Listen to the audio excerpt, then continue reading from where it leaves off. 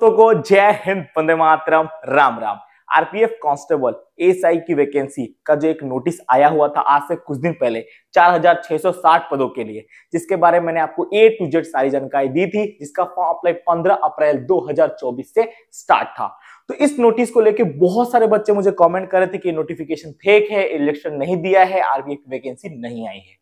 तो दोस्तों, मैंने आपको उस टाइम पे कहा था कि आरपीएफ की वैकेंसी 100 परसेंट आई है। मैं कोई भी आपको इन्फॉर्मेशन देता हूँ तो भाई मैं फेक इन्फॉर्मेशन नहीं देता हूँ। अगर इन्फॉर्मेशन 100 परसेंट जेनविन नहीं होता है तो मैं आपको इन्फॉर्मेशन प्रोवाइड ही नहीं कराता हूँ।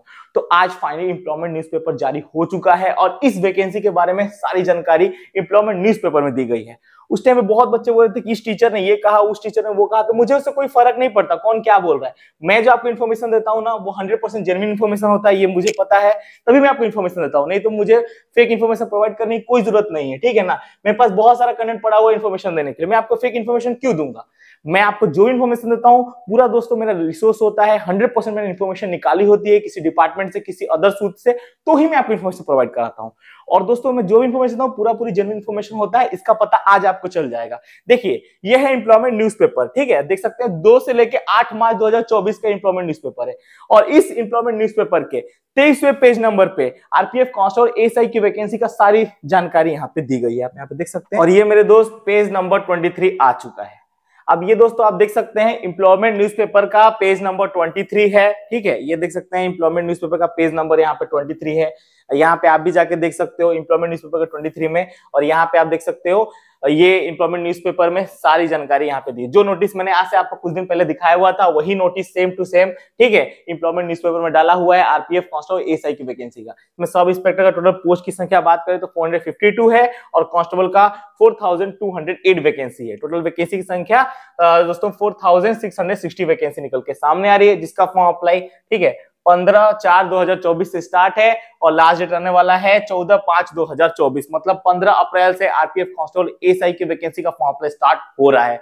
तो पूरा पूरी दोस्तों तैयारी में लग जाओ और इसकी तैयारी में पूरा जान लगा दो, क्योंकि इसका सबसे पहले रिटीन एग्ज़ाम होना है। अब किसी टीचर के चक्कर मत पड़ो कि ये टीचर ने वो कहा था, वो टीचर ने वो कहा था। जो भी इन्फॉर्मेशन भाई सौरभ मिश्रा इन्फॉर्म आपको देता है, वो हंड्रेड परसेंट जेन्यून इन्फॉर्मेशन होता है, नहीं तो मैं इन्फॉर्मेशन प्रोवाइड कराता ही नहीं हूँ। ठीक है ना? ऐसा फेक इन्फॉर्मेशन मेरे को देना ही नहीं है। और ये फेक है फेक है, सब बोल रहे थे, मैंने एक भी वीडियो नहीं बनाया कि ये फेक है, क्योंकि मुझे पता था कि ये हंड्रेड परसेंट है और ये कोई फेक नहीं है।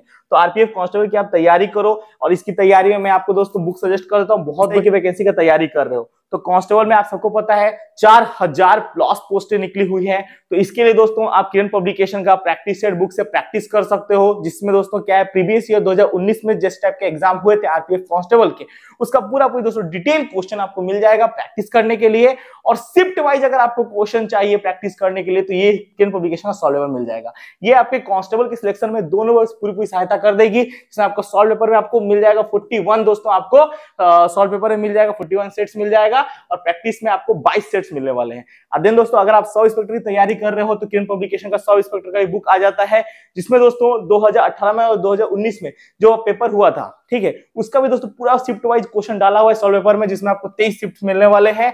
और ये दोस्तों आपके पूरा solve paper previous year question के के ऊपर आधारित है। और प्रैक्टिस सेट भी आपको मिल जाएगा। प्रैक्टिस करने इसमें 2018 और 19 में जो पेपर हुआ था, उसका पूरा पूरी पैटर्न डाला हुआ है। इसमें आपको 22 सेट्स मिल जाएँगे।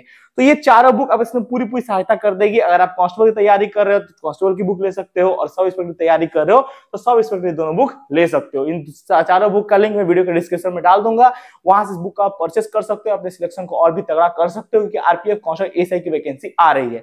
अब हम बात करते हैं इसके सिलेबस के ऊपर।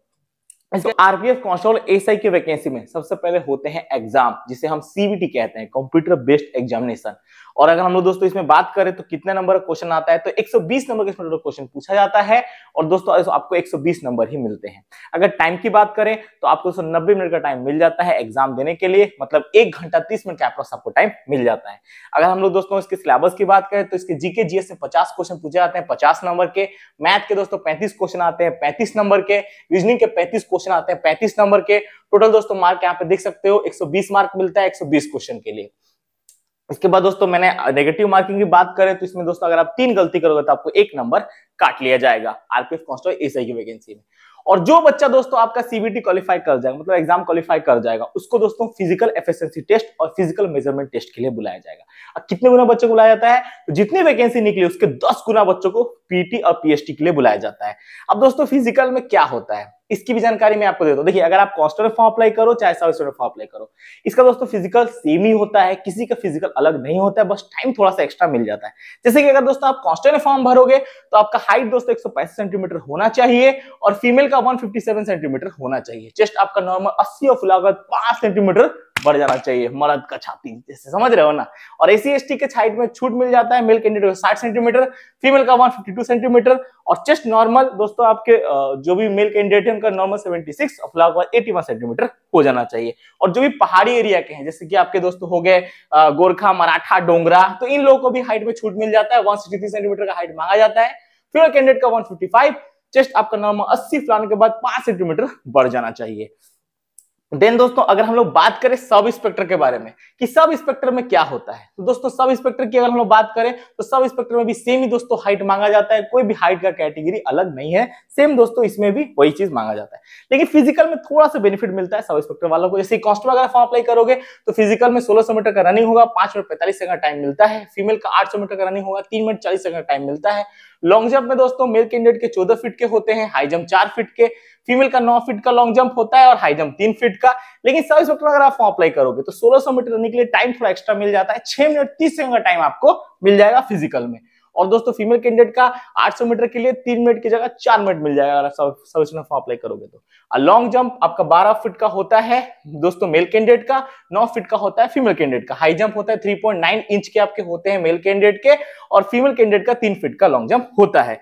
और ये दोस्तों आपके फ़िज़िकल हो गए। जो बच्चा फ़िज़िकल क्वालिफाई कर जाएगा, अब उसका होगा डीवी डीवी मतलब डिटेल डॉक्यूमेंट वेरिफिकेशन अब दोस्तों, जो बच्चा डीवी में क्वालिफाई कर जाएगा, उसका फाइनली होने वाला है मेडिकल और जो बच्चा मेडिकल क्वालिफाई कर जाएगा, उसका दोस्तों बदन पे वर्दी चढ़ जाएगा।